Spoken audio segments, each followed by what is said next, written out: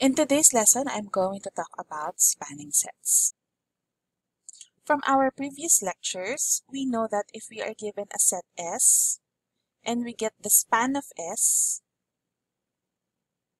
it is not simply a subset of V, but it's actually a subspace of the entire set V. This is your V. What we want to consider in this lesson is that what will happen if the span of S is the entire vector space V. So we have our S over here, and the span of S is the entire vector space V. We want to consider this. If that is the case, just like what we have here, if the span of S is the entire vector space V, we say that S is a spanning set of V or S spans V. What this means is that every element in V is a linear combination of the vectors in S. So this means that if we get an arbitrary element in V, we can always write it as a linear combination.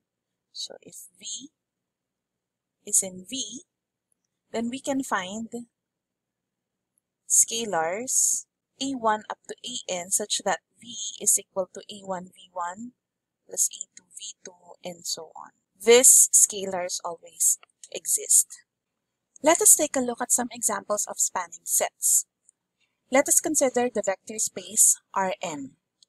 Suppose that E1 is the column vector where 1 is on the first position and then you have 0 elsewhere. For E2, you have 1 on the second position and then 0 elsewhere. So just like in here, En, you have 1 on the last position and 0 elsewhere.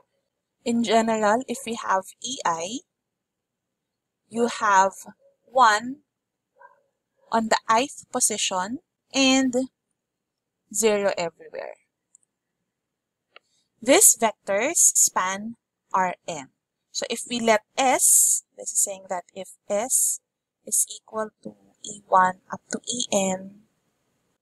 This set span the entire vector space Rn. Why is that? Let us recall that if you're saying that S spans Rn, it means that every element here can be written as a linear combination of the elements here. What is an arbitrary vector in Rn? An arbitrary vector in Rn looks like this, a1 up to an. Correct? How do we write it as a linear combination of 1, 0, 0, 0, 1, 0, and so on? What are the constants that we will write here? This will be for E1, we multiply it by scalar E1 for E2, we multiply it by the scalar E2 here, and so on. Correct? This vector a1 up to an is now equal to a1 e1 plus a2 e2 and so on up to an en. So this is now telling us that every vector in Rn can be written as a linear combination of these ei's. Another example, let's look at a spanning set for Pn. Again, recall that Pn is a set of polynomials of degree less than or equal to n. So therefore, the vectors in Pn are simply polynomials. So therefore, these are vectors in Pn. And they span the vector space Pn because if we get an arbitrary polynomial, it is written of this form, correct? a0 plus a1x and so on plus anxn. And this is exactly your vectors a1, x, up to xn, and then these are your scalars. How about this one?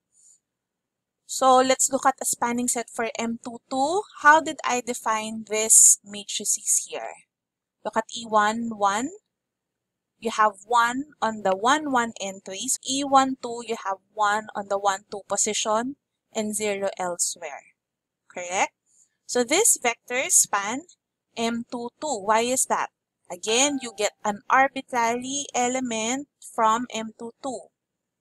What is an arbitrary element in M22? You have A11, A12, A21, A22.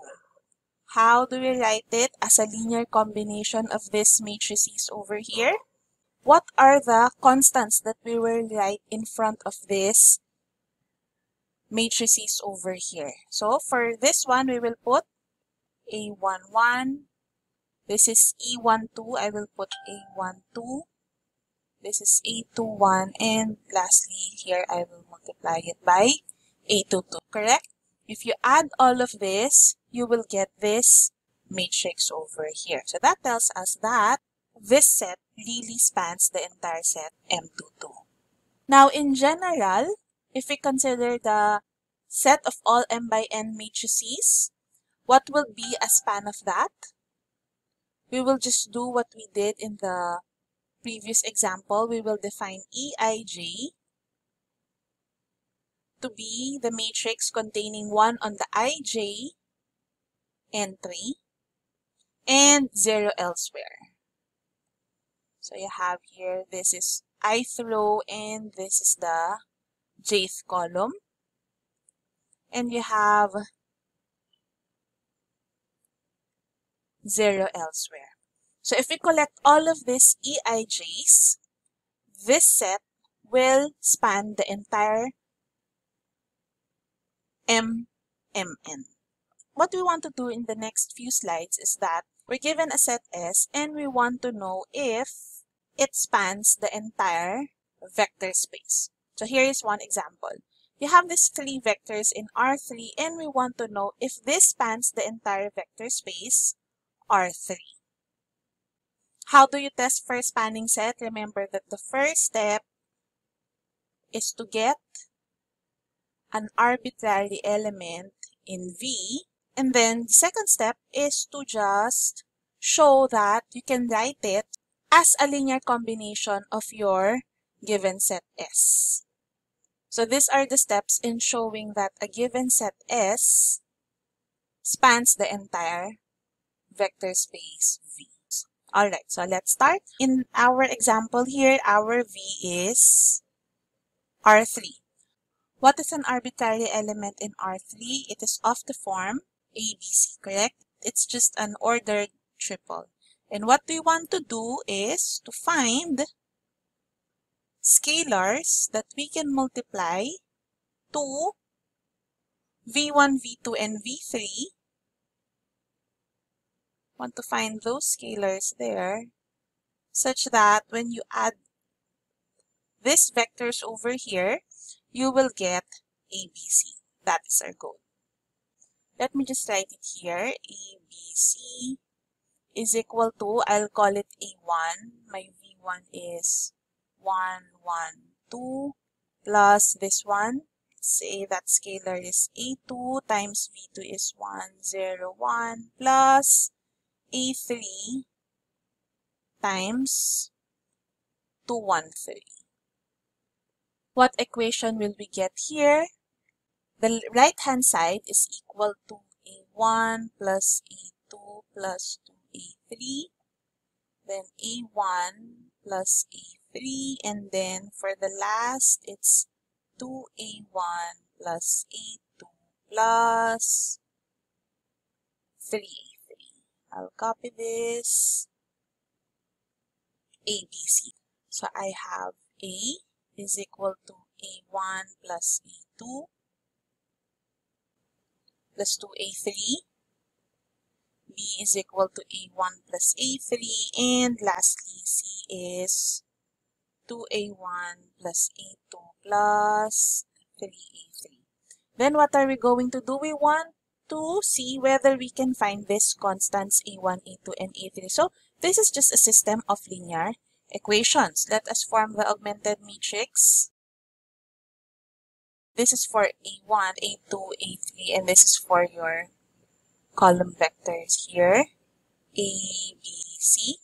This is 1, 1, 2, 1, 0, 1, and 2, 1, 3. So we want to know whether this one has a solution. So again, we will use Gaussian elimination. So in this case, I turned this to zeros. I performed this row operation. So I got this matrix. Now take note that this row and this row are scalar multiples of each other, right? So therefore, if I subtract R2 from R3, I will get a row of zeros.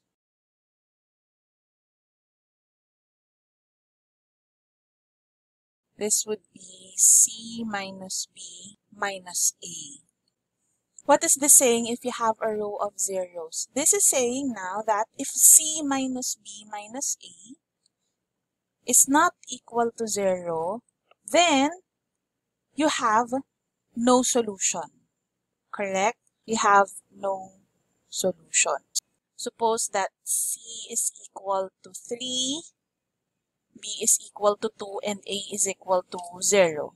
c minus b minus a is equal to 1. So the vector 0, 2, 3 is not a linear combination of the vectors v1, v2 up to v3. So therefore the answer here is no.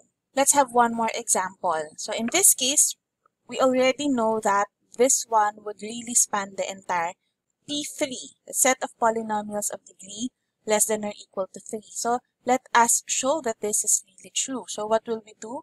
We get an arbitrary element in P3. What would be an arbitrary element in P3? So it's of the form v0 plus v1x plus v2x squared plus p3x cubed and we want to see if we can write it as a linear combination of this 1, 2, 3, 4 vectors over here. So those are my vectors. I will multiply them by A1, A2, A3, and A4. So that's why I did not use AIs here because I will be using them on this side. When are two polynomials equal? two polynomials are equal if their coefficients are equal. So we will just equate the coefficients. So first, let us start with the constants. Our constant on this side is b0. On this side, our constant is a3 plus 3a4. The coefficient of x, on this side we have b1, on this side, we have a2, just a2. Coefficient of x squared. On this side, we have a2. On this side, we have a1 plus 2a3. And lastly, the coefficient of x cubed. On this side is b3. On the other side is just A1. So we now have the system of linear equations. Let me write it here. We now form the augmented matrix. This column is for A1.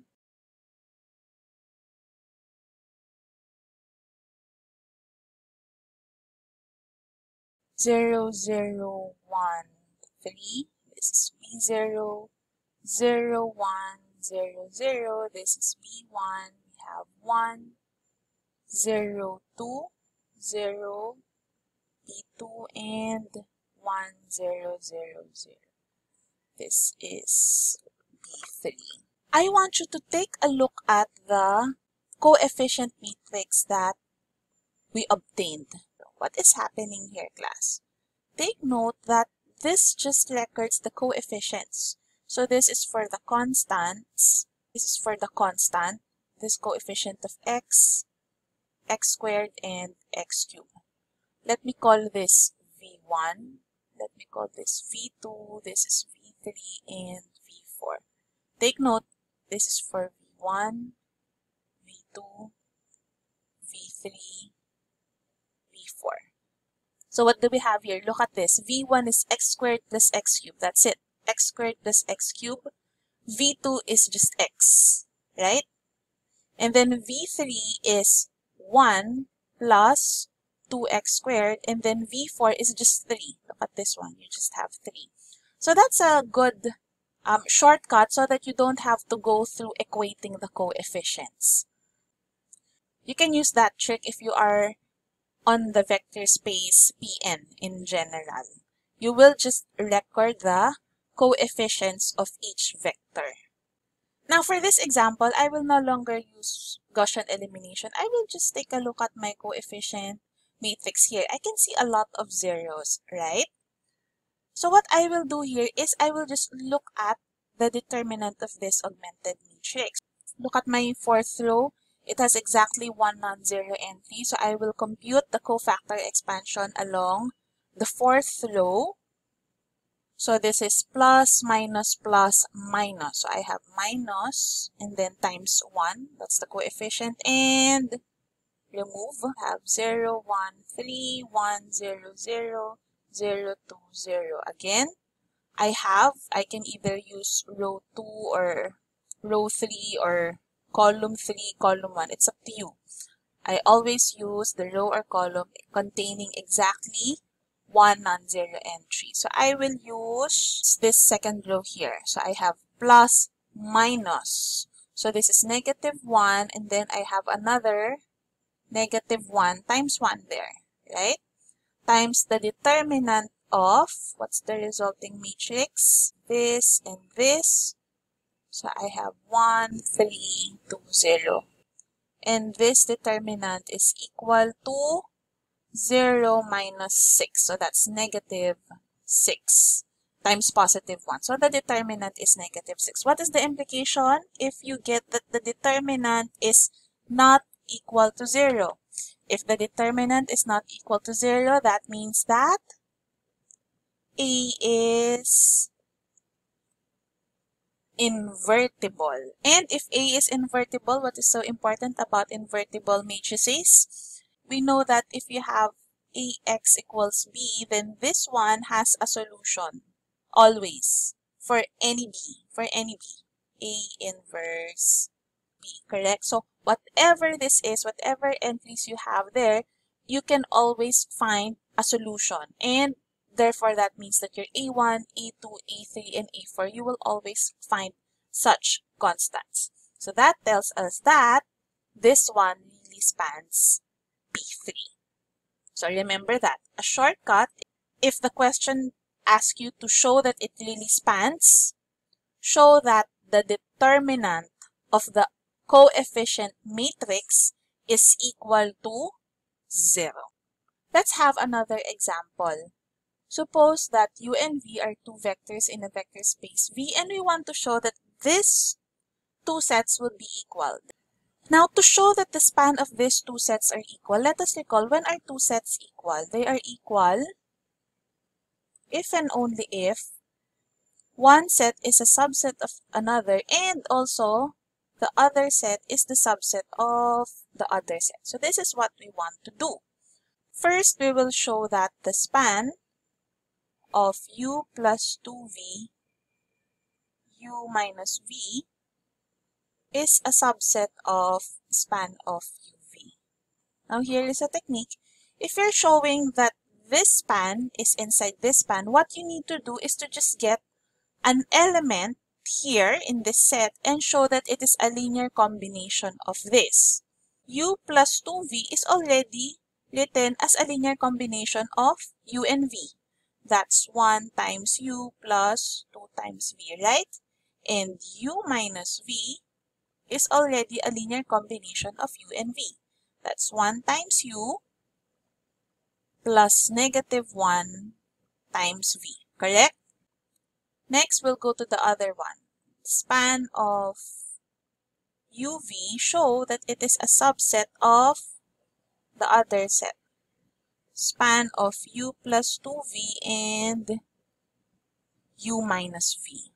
So first, I will show that we can write u as a linear combination of u plus 2v and u minus v. What would be the constants that we would have here? And we will show that v can be written as a linear combination also of this. Let's say B1 and B2. So first, let us do this. I will just put this one here.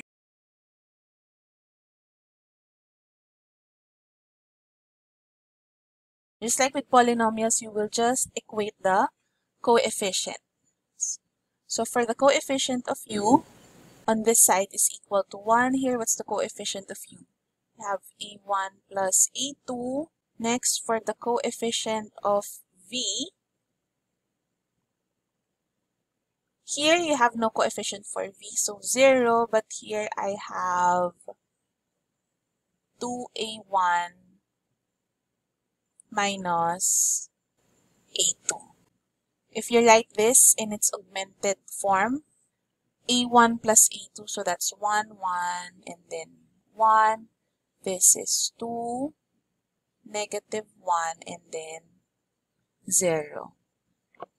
Will this one have a solution? Well, you don't have to really compute, although you can compute for it. But for me, I prefer not to solve it because I know that I have What's the determinant of this? The determinant is equal to negative 1 minus 2, which is negative 3, and that determinant is not equal to 0.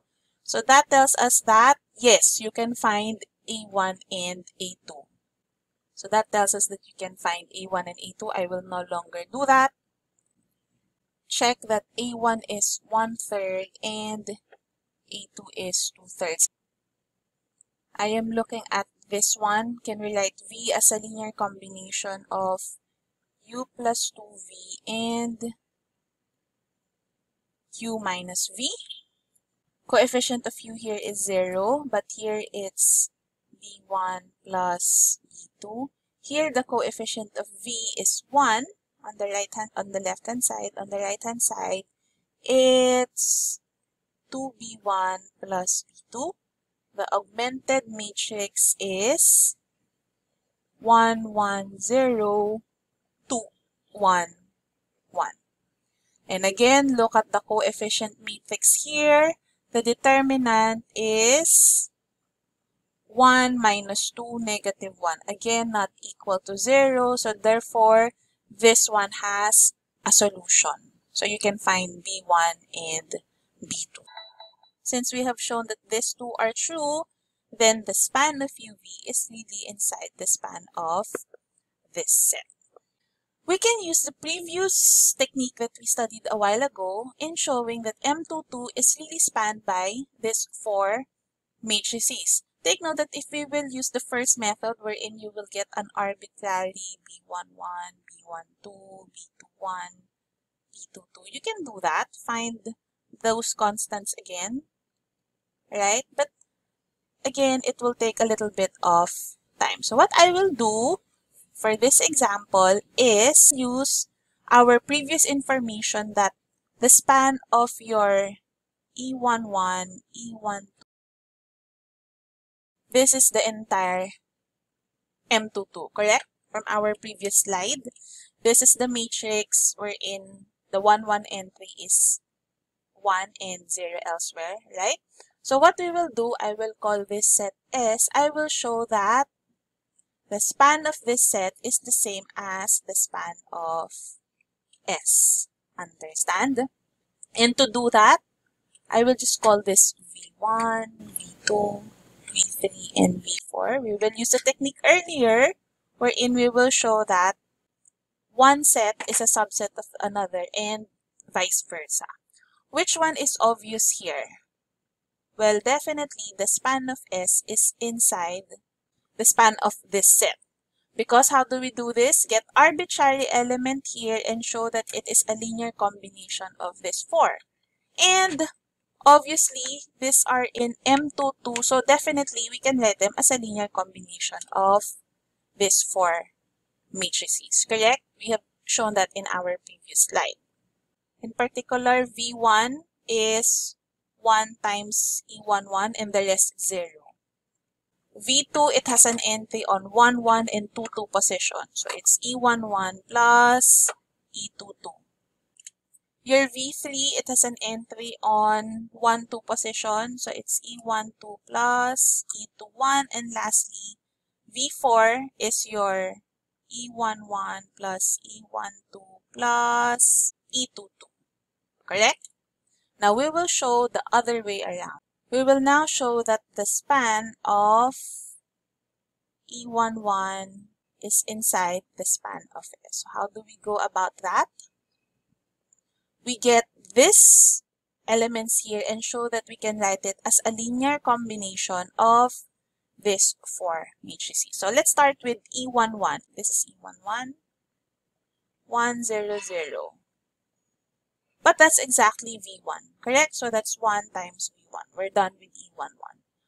About E12, look at that. That's equal to 1, 1, 0, 1 minus 1, 0, 0, 1 here. You get E12, right? Next, we want to show that E21 can be written as a linear combination of this four. Let's call that A. Equating coefficients again for the 1, 1, and 3, we get that A plus B plus D is 0. For the 1, 2, and 3, we get that C plus D equals 0. For the 2, 1, and 3, get 1 is equal to C. And for the 2, 2, and 3, we have B plus. So we have that C is equal to 1. So that means here that D is negative 1, which means here that B is equal to 1. And therefore, lastly here, we have A plus B plus D is 0. So A is also equal to 0. So there you go. We were able to write E21 as this one will be 0. This is equal to 1 times V2. So that our B. So that's 1 V2. Our C is 1 plus V3 minus V4. Lastly, we have E22. For E22, take note that it is just equal to V2 minus V1, correct? So that's negative 1. You have this and you remove this one over here. So there you go. So we have just shown that each of this E11, E12 up to E22 we were able to write them as a linear combination of V1, V2, V3, and V4. So therefore, they span the same set. But since this one here spans M22, that completes our conclusion that the answer here is yes. Let us recall in our previous lecture that the polynomial 1 plus 5x plus x squared does not lie in the span of this. What is an implication of that? Since we were able to find a polynomial in P2, this is in P2, which does not lie here, that means that this set cannot span P2. In this lesson, we use the definition of determining whether a given set spans the entire vector space. However, in our succeeding lessons, we will see that there is a faster way of checking whether a given set spans the entire vector space. In order to do that, we need first to understand the concepts of linear independence, basis, and dimension. And we will do that in our succeeding lessons.